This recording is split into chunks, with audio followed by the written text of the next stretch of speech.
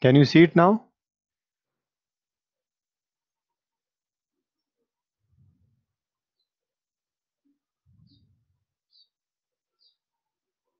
Correct answer I will not tell you. You will have to go and find out.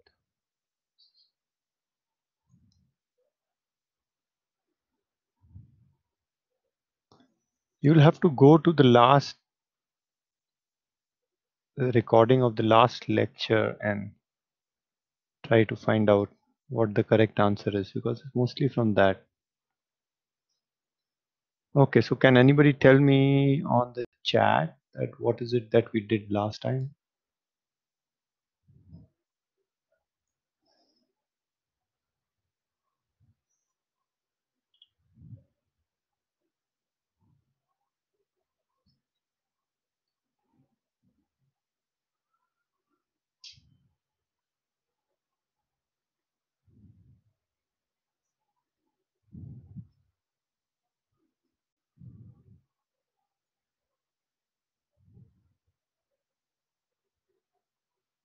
Last time क्या किया था?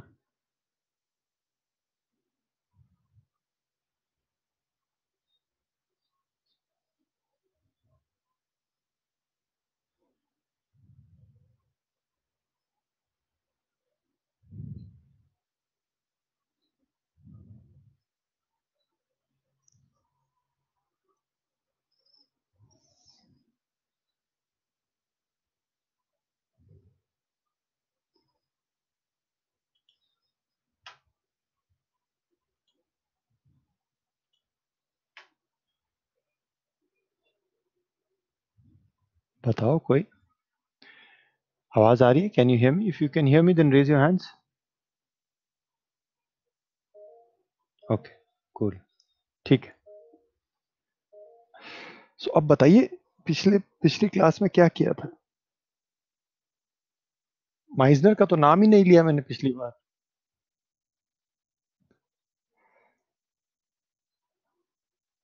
Meissner के बारे में तो ये लेक्चर है भी नहीं।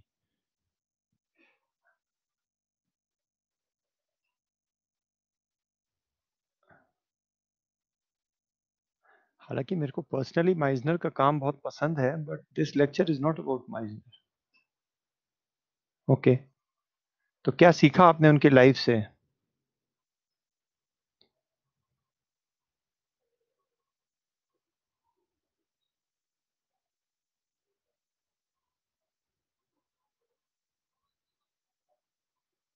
Anything that you can recall जो जो आपके मन में आ रहा है, आप टाइप करिए।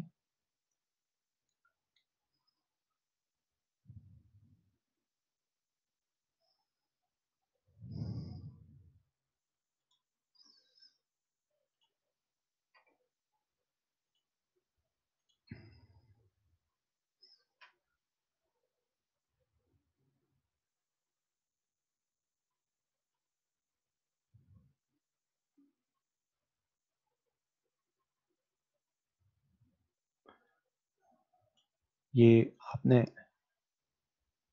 हरकुंवर सिंह ने जेनरिक आंसर दे दिया स्कूल कॉलेज वाला।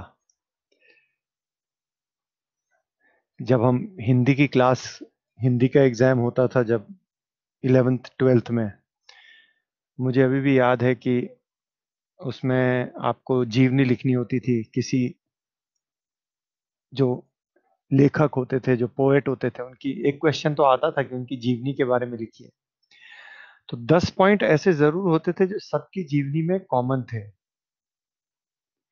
कि समाज के लिए उन्होंने बहुत कुछ किया, आज़ादी की लड़ाई में उन्होंने हिस्सा लिया।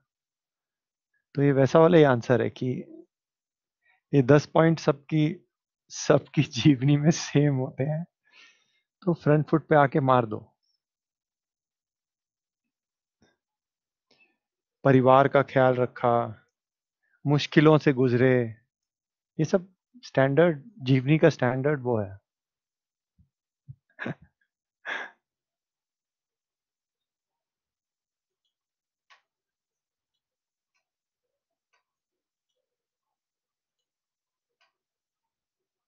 ओके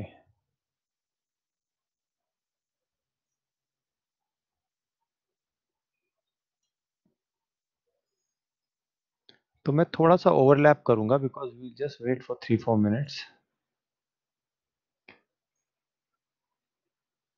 तो हमने ये बताया था कि स्टेंसलॉस्की का जो पर्पस था, वो था कि एक ऐसे सिस्टम को डेवलप करना जिससे कि एक average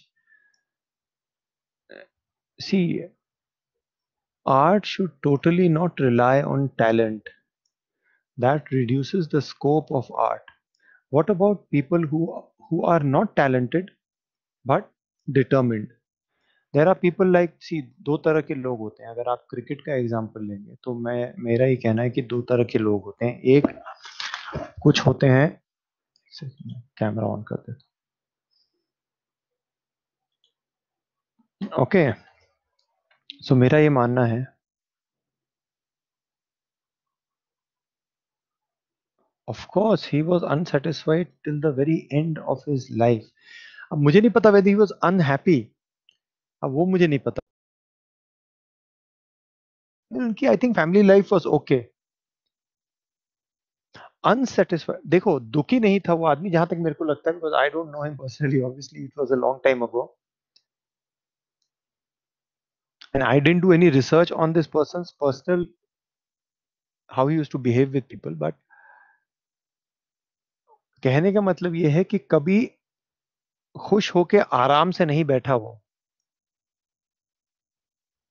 Always wants to get better always आज क्या होता है? अगर आप, मैं बताता हूँ लोगों के साथ क्या होता है। लोग होते हैं, अपना कोर्स करके बम्बई आते हैं। बम्बई आते हैं, तब तो उनके अंदर बहुत होता है कि सीखना है, करना है। एक बार जब उनको काम मिलना शुरू हो जाता है, उसके बाद फिर सीखना छोड़ देते हैं। इंडिया में बहुत होता है ये। This does not happen in the West West में इवन एक्टर्स दे कंटिन्यूसली और with certain actors, it continuously happens. Most of the actors, they just settle down and say कि बस अब हो गया, अब आ रहा है ना पैसा, बस खुश रहो, कुछ सीखने की ज़रूरत नहीं है. तो कहने का मतलब है, वैसा नहीं so I don't know whether he was a unhappy person but he was unsatisfied in his profession he always wanted to get better find new and better things find new methods of working जो भी उसके काम में gap रहता था वो उस gap को he wants to fulfill that gap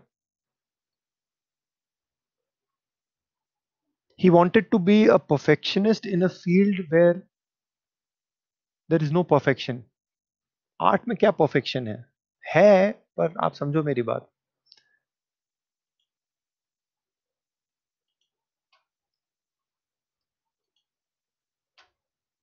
so so, ये था। नाउ उनकी लेगेसी की बात करें रफली मैं बस दो तीन मिनट और लेता हूँ। ये लोग मैंने आपको बताए थे। ये तीन उसके मेन लेगेसी के वो माने जाते हैं।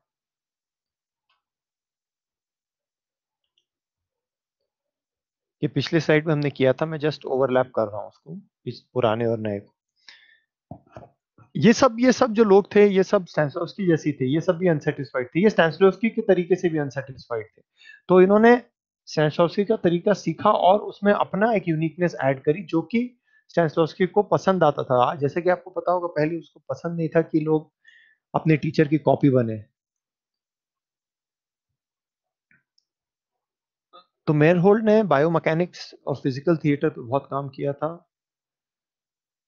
विक्टेनकॉफ ने फैंटास्टिक रियलिज्म पे काम किया था। उनका कहना था कि भाई रियल लाइफ देखने के लिए लोग नहीं आते हैं। हमको कुछ जादू देखना है, कुछ चमक देखनी है, कुछ चकाचौंध देखनी है। ऐसे ही वही जो हमारी ज़िंदगी में चल रहा है, वही स्टेज पे देखेंगे तो मतलब it will not enrich us Chekhov जो थे, उन्होंने क्रिएटिव विजुअलाइजेशन को कहीं और ही ले गए थे वो। सबसे ज़्यादा झगड़ा स्टैंसलॉवस्की का चेकॉव के साथ था। चेकॉव जबकि उनके सबसे ब्रिलियंट स्टूडेंट रहे हैं। बाद में उन्होंने चेक के तरीके को पूरा ही चेंज कर दिया। बट इट्स अ, जो चेकऑफ का तरीका it's a very powerful method for characterisation extremely powerful method of characterisation so ये स्लाइड पिछली बार नहीं आई थी सो so उन्होंने क्या चेंज किया, एक बार आप देख लीजिए। तो रशिया में before Moscow Art Theatre before Stanislavski did his work अच्छी एक्टिंग का मतलब था ग्रेट एक्टर्स को इमिटेट करना। शीशों के साथ काम होता था। अभी शीशों के साथ काम मैं पॉइंट ये aside I am going to tell you आप में से कितने लोग uh, शीशे के सामने परफॉर्म करते हैं और दिखते हैं अपने आप को? हाथ खड़ा कीजिए।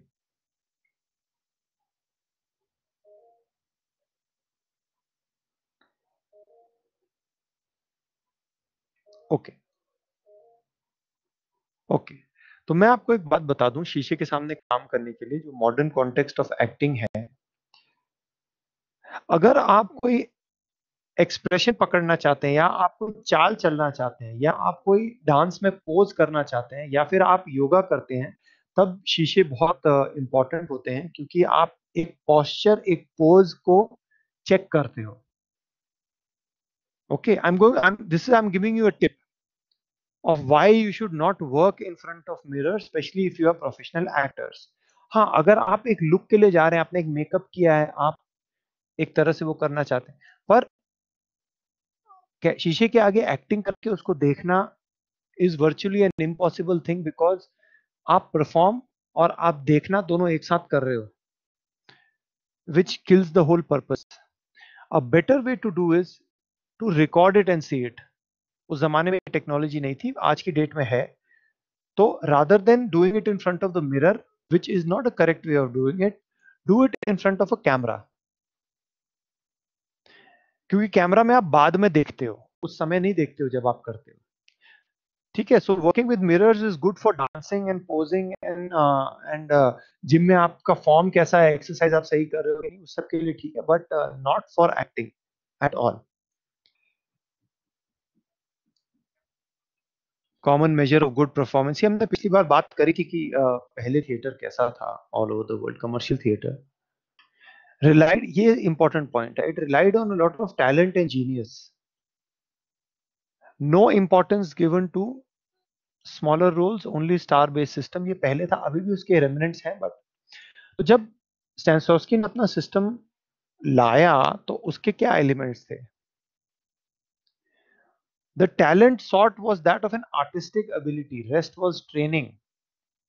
उसने ट्रेनिंग के ऊपर बहुत ध्यान दिया। उसने बोला कि एक, आपके अंदर एक आर्टिस्टिक एबिलिटी अगर है तो हम आपको ट्रेन करके एक्टर बना सकते हैं। ये उनके की प्रिंसिपल्स थे। इसके ऊपर तो अलग से एक चैप्टर जो कि I think next three lectures यही होंगे। Relaxation concentration given circumstances action ये टेक्निक ये तरीके हैं जिनको यूज़ करके एक्टिंग की जाती है।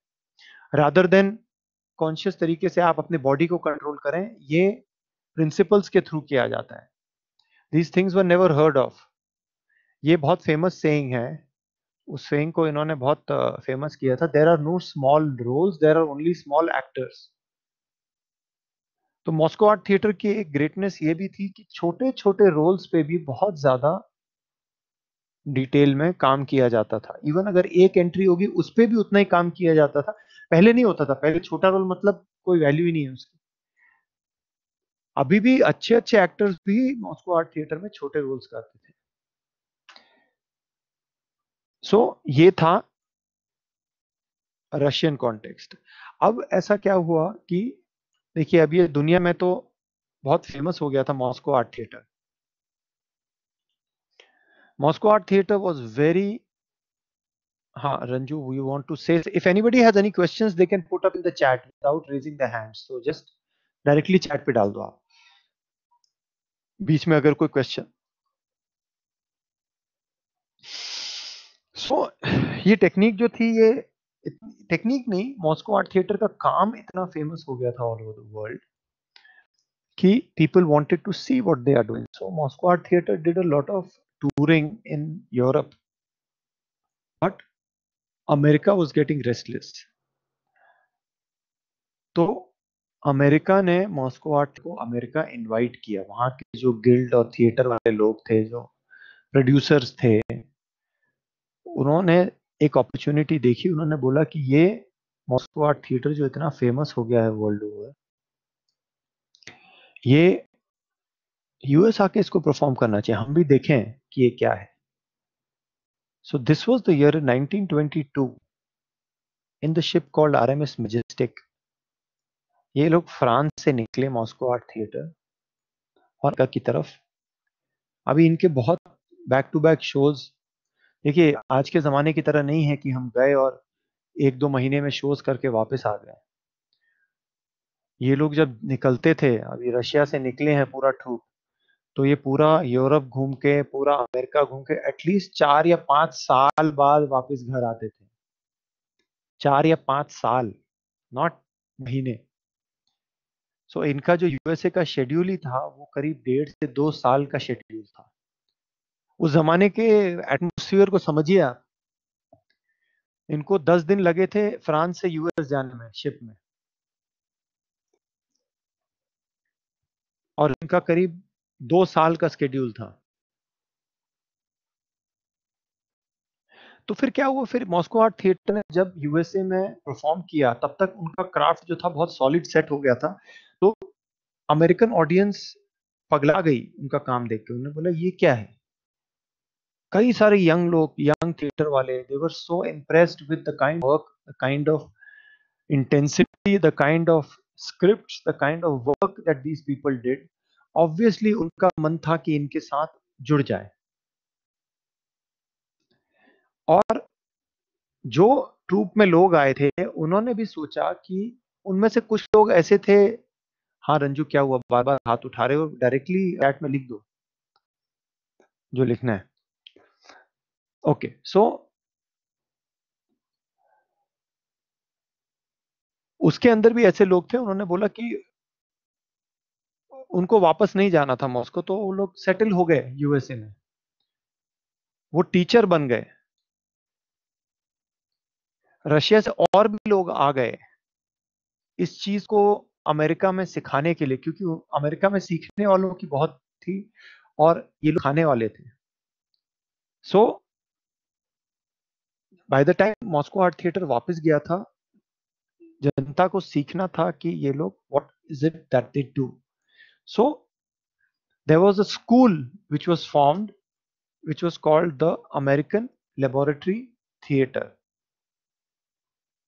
1923 में once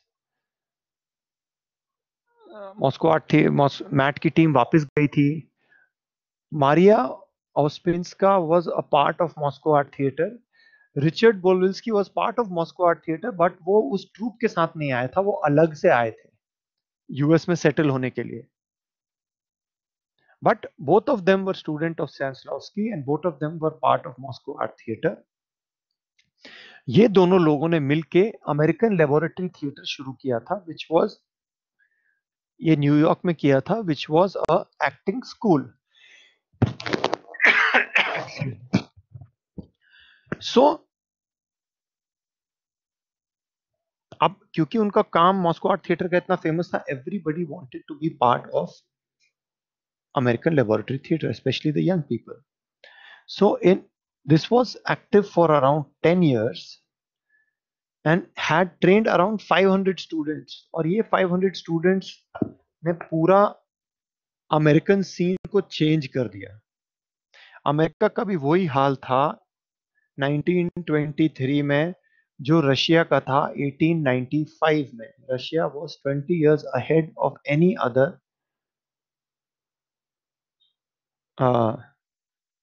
was 20 years ahead in acting अभी इनकी जो दो साल की ट्रेनिंग थी, बुलविल्सकी जो थे वो लेक्चर्स लेते थे सिस्टम के एस्पेक्ट्स पे, और स्पिंस का क्योंकि बहुत ही बढ़िया एक्टर थी और स्टैंसलॉस्की की एक्टर थी।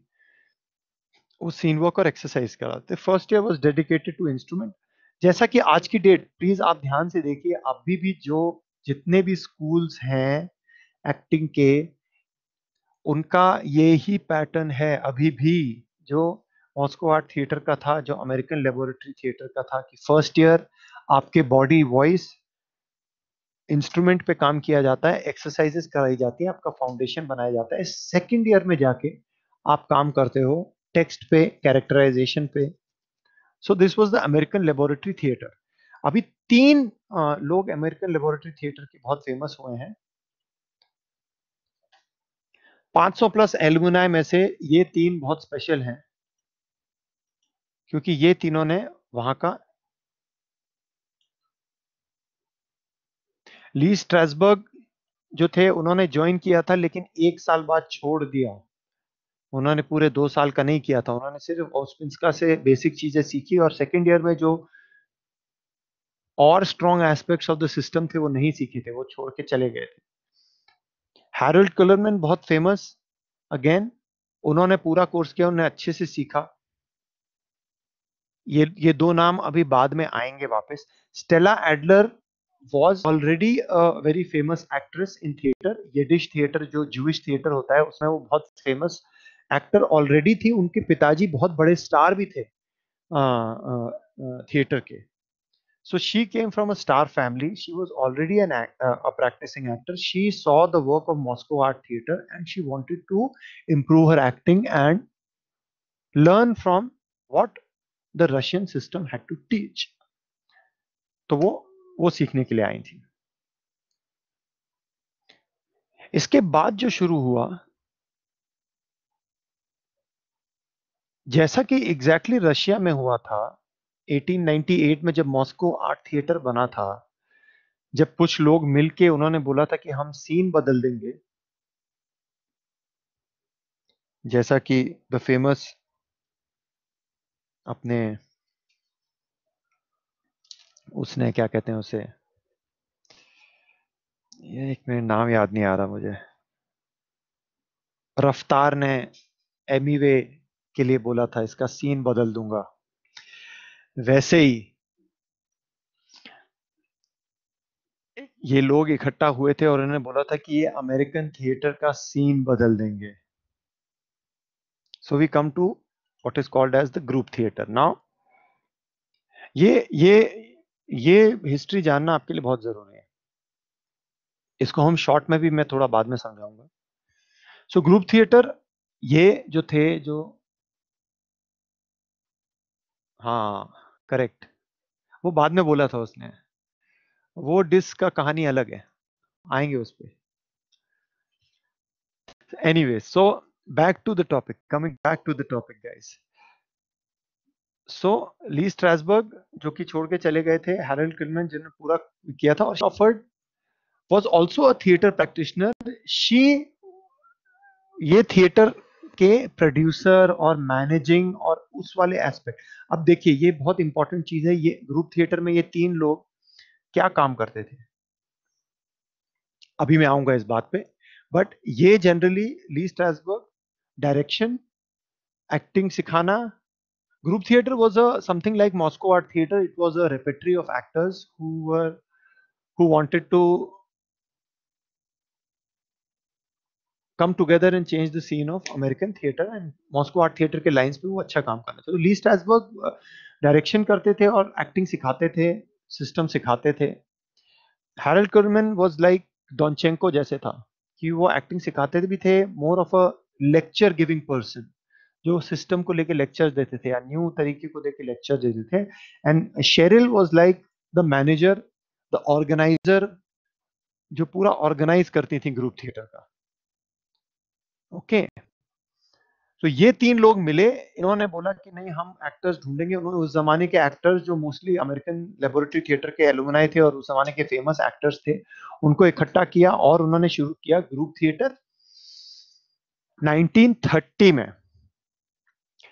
जैसे 27 एक्टर्स ये लोग ने अपने आप को एक फार्म हाउस में लॉक करके ये बोला कि हम अब अपने तरीके से, तसल्ली से एक प्ले तैयार करेंगे और वही करेंगे जो मॉस्को आर्ट थिएटर ने किया था।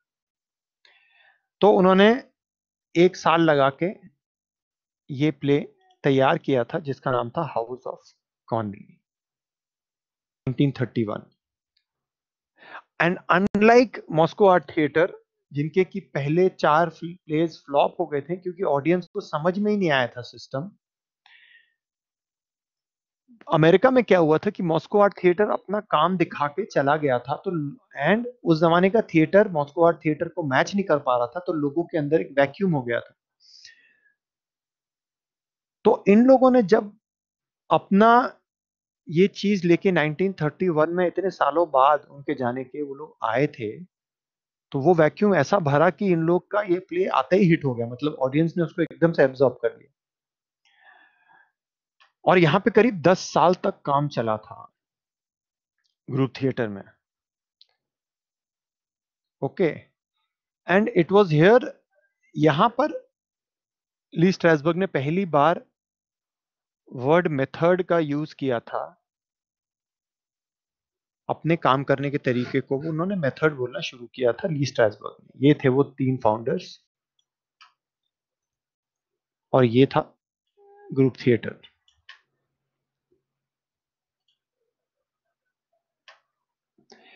देखिए, दस साल तक इट वॉज़ एक्टिव अब देखिए ग्रुप थिएटर में वही हुआ क्योंकि ये सब लोग साथ में रह के काम करते थे, ये वो इनके आपस में डिफरेंसेस बहुत ज़्यादा हो गए, जो कि जनरली जनरली होता है। ली स्ट्रासबर्ग बहुत ज़्यादा अथॉरिटेरियन हो गए थे और बहुत सारे एक्टर्स सोचते थे कि वो, वही सेम चीज़ जो स्टैंसलॉस्की के साथ हुआ था मॉस्को आर्ट थिएटर में। See because this was again in the same lines as Moscow Art Theatre इसके अंदर भी जो जो ग्रोथ हुई है, वो भी similar to Moscow Art Theatre की तरह ही हुआ था उनके साथ कि सब ली स्ट्रासबर्ग के अगेंस्ट हो गए थे, ये वो, आपको पता है, खूब सारे लोग एक जगह पे इकट्ठा होते हैं तो there are differences but still because they were being successful they continue to work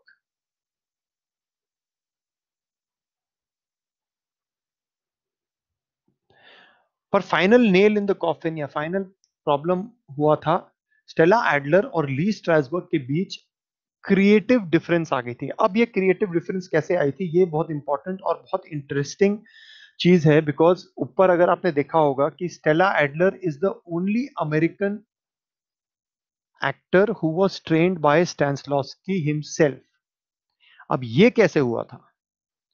ये बहुत इंटरेस्टिंग किस्सा है। देखिए हैरल्ड कुलरमैन और स्टेला एडलर जो थे, वो यूरोप का टूर कर रहे थे, ऐसे ही। वो रशिया और यूरोप में जाके पूरा थिएटर हिस्ट्री को और जनरल हॉलीडे के लिए भी वो पूरा यूरोप और रशिया घूम रहे थे।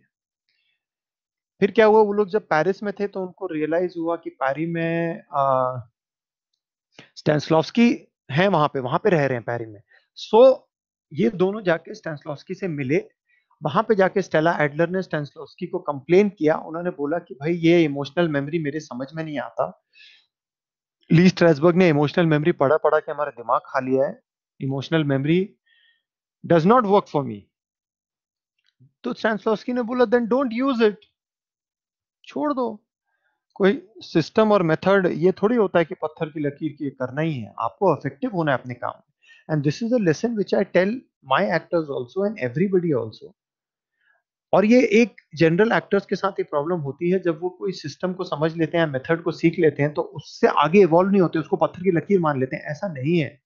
आपको अपना भी तरीका ढूंढना है। आपको उस मेथड को जनरली सीख के फिर अपने लिए फाइंड एक्चुअली तो इंस्ट्रक्टर का काम होना चाहिए। जैसे मैं भी जब पर्सनली मैं हर स्टूडेंट के साथ पर्सनली काम करता हूँ तो जब मैं पर्सनली काम करता हूँ तो जो मेथड जो जनरल मेथड हम सीखते हैं उसको उस पर्सन के हिसाब से ट्यूट करना होता है। तो उसमें देखना होता है कि क्या इस पर्सन के अंदर इमोशनल मेमोरी यूज़ करने के लिए इतना इमोशनल मसाला है?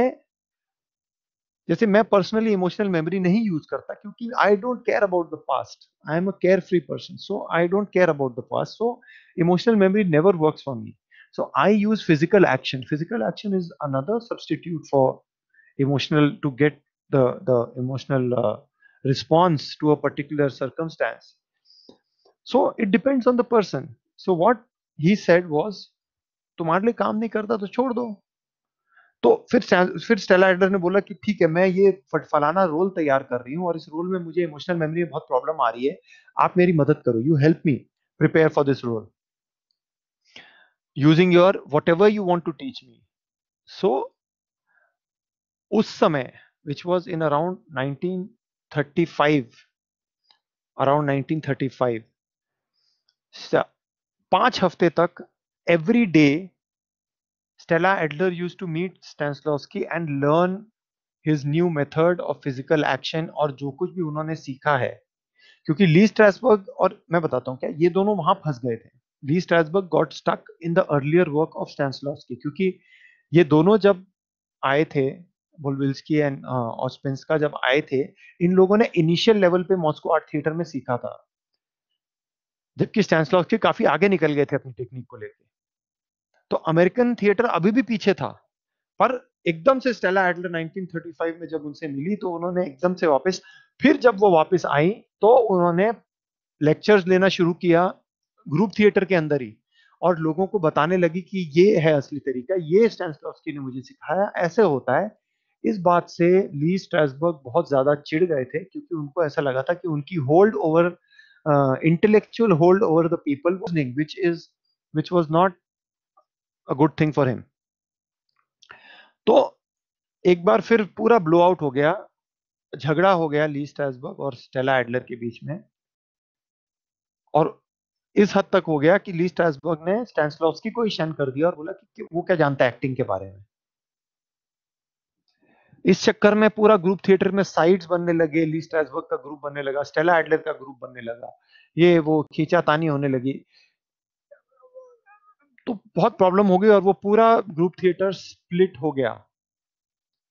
पर उसका स्प्लिट होना भी बहुत खूबसूरत था, क्योंकि जितने लोग स्प्लिट हुए, हर किसी ने अपना स्कूल खोला और अमेरिकन थिएटर अब जाके असली तरीके से फ्लरिश होना शुरू हुआ। ये वर्ल्ड वॉर टू के आसपास था।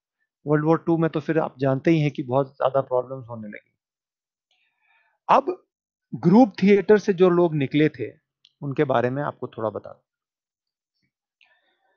दस साल में ये ग्रेट लोग और भी लोग थे, और भी लोग सिखाते थे, पर मेंशन करने लायक ये लोग हैं। ली स्ट्रेसबर्ग तो आपको पता ही है स्टेला एडलर सैनफर्ड माइजनर ये तीन प्लीज़ ध्यान रखिएगा, ये तीनों अलग अलग स्कूल हैं एक्टिंग के।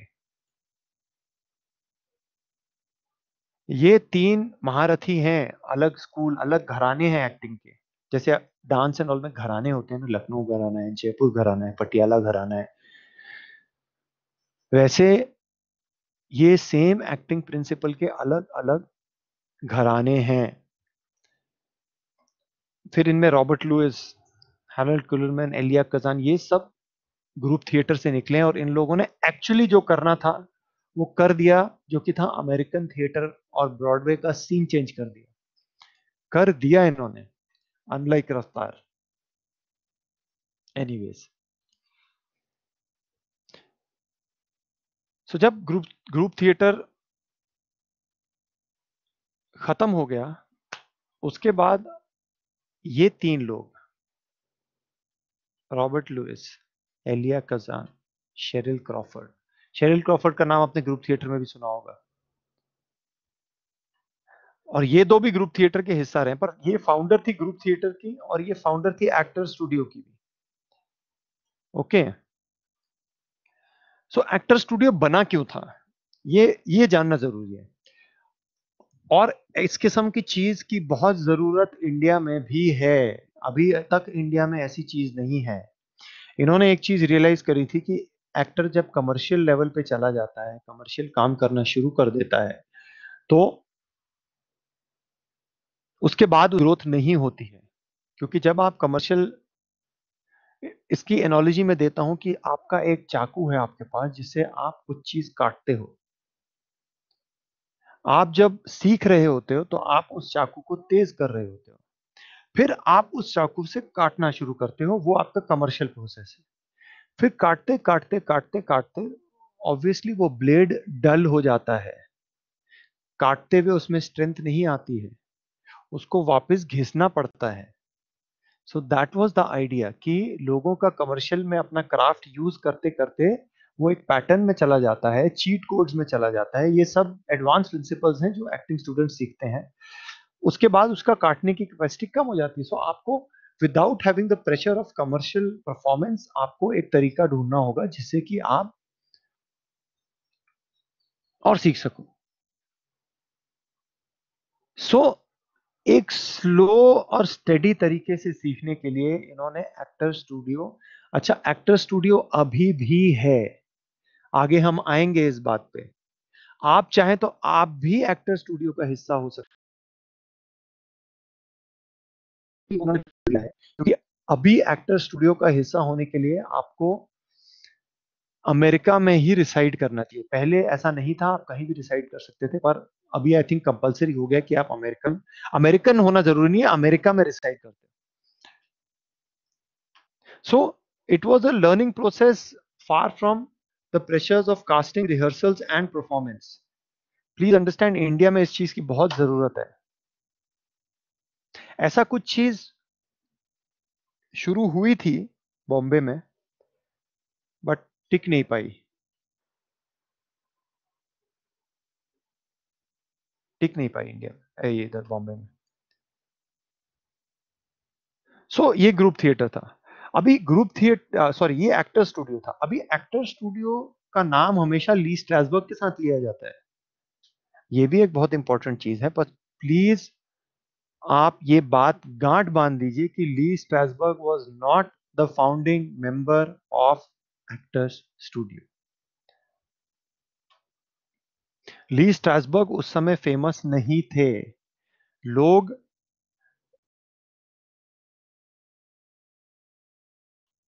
में एक्टर स्टूडियो आते थे बिकॉज़ ये दोनों बहुत फ़ेमस थे।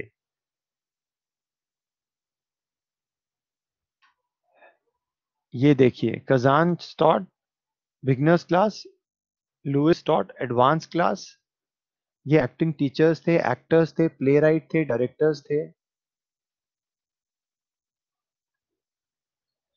और ये बात प्लीज़ गांठ बाँध लीजिए कि contrary to proper belief Lee Strasberg was not a founding member of actor studio although the studio is known by his name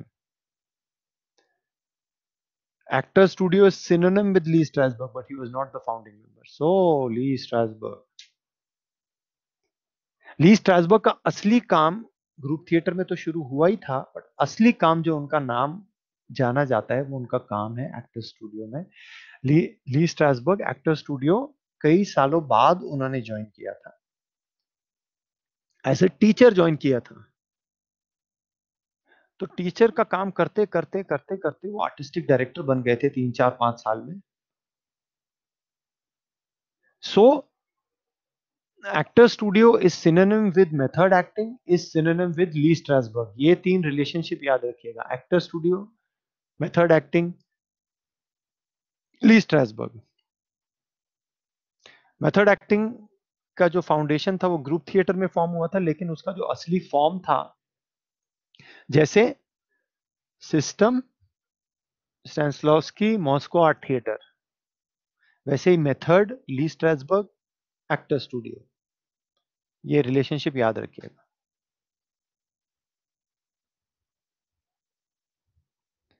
ये एक्टर स्टूडियो ये अभी भी है और अभी भी एक्टिव है।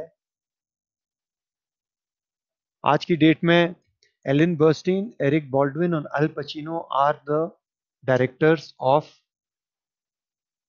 actor studio दो एक्टर स्टूडियो हैं, एक न्यूयॉर्क में है, एक लॉस एंजलिस में है। न्यूयॉर्क वाला मेन है, जहाँ पे एक्चुअली सारा काम होता है लॉस एंजलिस वाला भी है।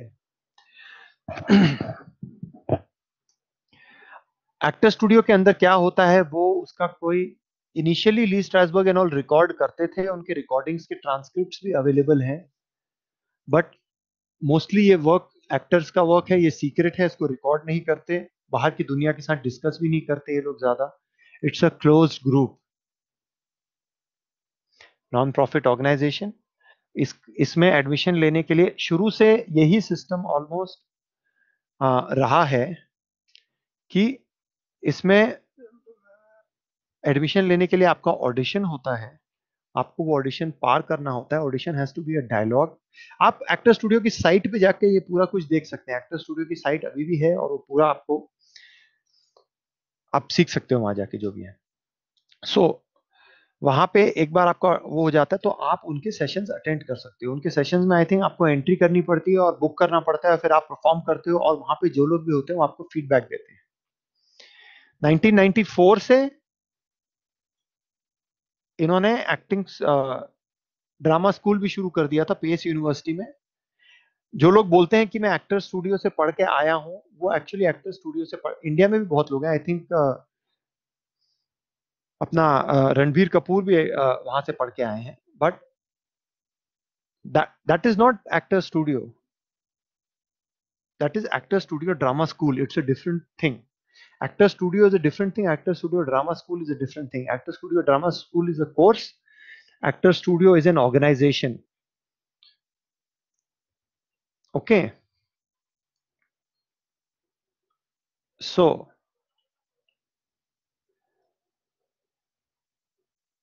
ये प्लीज़ मैं आपको वर्बेटम पढ़ के सुना रहा हूँ और इस चीज़ को प्लीज़ गांठ बाँध लीजिएगा। The method that is attributed to Lee Strasberg is but a version of Stanislavski की system that puts the greatest emphasis on the creation of inner technique and although what Lewis Meisner Adler taught is also a version of the system but Strasberg version specifically is known as the method so याद रखिएगा Louis Adler, Meissner, Strasbourg जो कराते हैं, वो सब system से निकल के आया है। वो सब सिस्टम का ही वर्जन है, पर स्पेसिफिकली लीस्ट ने जो काम करा है, उसको मेथड बोलते हैं। So what is method acting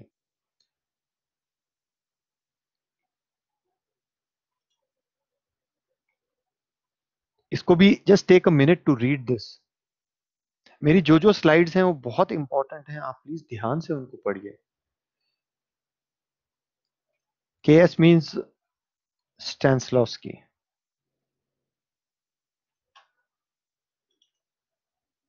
कोई ट्रिक या शॉर्टकट नहीं है, कोई तरीका नहीं है it's a training method method acting is not a method of acting it is a method of training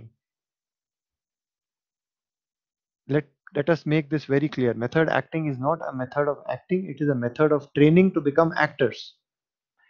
Method training is a much more appropriate term to use. Method training. I don't know why it's called method acting. It should be called method training. So method acting is a training process. So itna humne jo history of development of method acting और method training जो हमने सीखा है, उसको ये एक slide में मैं समराइज करना चाहता हूँ। ये स्लाइड इंपॉर्टेंट है। आप चाहे तो इसकी फ़ोटो ले लीजिए। अपने फ़ोन से या स्क्रीनशॉट ले लीजिए। ओके तो हमने जो भी इतने अभी लेक्चर्स में जो हमने सीखा, वो बहुत इंपॉर्टेंट है कि सबसे पहले आया था मॉस्को आर्ट थिएटर स्टेंसलॉस्की ने फॉर्म किया था। रशिया में था। American laboratory theatre, Boleslavsky, Ouspenskaya ने फॉर्म किया था। ये न्यूयॉर्क में फॉर्म किया था। ये सिस्टम का हिस्सा था। ये रशियन सिस्टम का, प्योरली रशियन सिस्टम का हिस्सा था। अमेरिकन लेबोरेटरी थिएटर जो 10 साल चला था, उससे आया था ग्रुप थिएटर अमेरिका में, जो अगेन 10 साल चला था। यहाँ पे अमेरिकनाइज होना शुरू हुआ था। और ग्रुप थिएटर से जो लोग निकले थे उन्होंने एक्टर स्टूडियो फॉर्म किया था जहाँ पे ली स्ट्रासबर्ग ने मेथड एक्टिंग को डेवलप किया था। सो so, अभी बहुत इंटरेस्टिंग ऑब्जर्वेशन ये है कि ये दोनों स्तंभ स्तंभ ये दोनों स्तंभ अभी भी हैं। Moscow Art Theatre is there actor studio is there ये दो शहीद हो गए ये दो नहीं रहे। अमेरिकन लेबोरेटरी थिएटर गया, ग्रुप थिएटर गया। मॉस्को आर्ट थिएटर है, जो सिस्टम का वो है, एक्टर स्टूडियो है, जो मेथड एक्टिंग का वो है। और ये 1947 में शुरू हुआ था, अभी तक है, ये 1898 में शुरू हुआ था, ये अभी तक है। इन सब की साइट्स पे आप जाके देख सकते हो। So can somebody tell me क्या आप जानते हो कि स्टूडियो से कौन कौन लोग थे? Do you know about the legacy of the actor studio? Let me put it in front of you. ये लास्ट स्लाइड है। इस स्लाइड के साथ साथ आपको अगर कुछ क्वेश्चन भी पूछना होगा तो मुझसे पूछ लीजिए। टाइम ऑलमोस्ट हो गया है। सो so, लेगेसी में फलाने लोग आते हैं। और भी लोग हैं बहुत लोग हैं। लोगों की कोई कमी नहीं है। एक्टर स्टूडियो से इतने सारे लोग एसोसिएटेड हैं कि almost all of Hollywood is associated with Actors Studio in some way or the other. ये बड़े बड़े नाम हैं। ब्रैडली कूपर भी स्टूडियो का है एल पचिनो तो है जैक निकलसन सबसे ज़्यादा बार nominated male actor Marlon Brando Marlon Brando जबकि अपने आप को स्टूडियो का नहीं मानते हैं, वो अपने आप को स्टेला एडलर का स्टूडेंट मानते हैं। खुद, जबकि वो स्टूडियो के हिस्सा रहे हैं बट उन्होंने सॉर्ट ऑफ़ छोड़ दिया था। पर वो लोग उसको अपना मानते हैं, क्योंकि वो एक बार मेंबर बन गए तो एक बार आप मेंबर बन गए। So any questions anything that you want to ask if you have any questions एक second let me put this across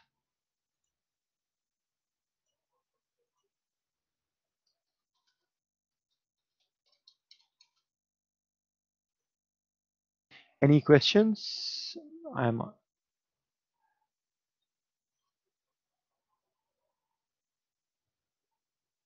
इन सबको अच्छे से वापस जाके देख लीजिएगा, क्योंकि जो टेस्ट होगा, उसमें इसी में से आएगा और कहीं से नहीं, अलग से मैं कुछ सवाल नहीं पूछूँगा। जो पूछा जाएगा, इसी से पूछा जाएगा।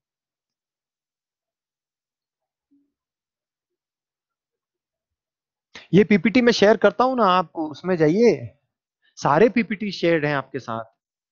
You go to the listing of this course share with students मैंने कर रखा है जो हर जितने भी मैंने पीपीटी और लेक्चर्स दिए हैं वो सब मैंने शेयर किया है already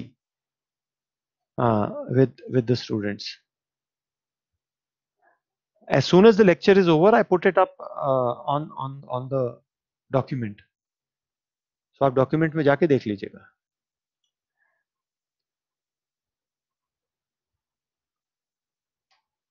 ठीक है?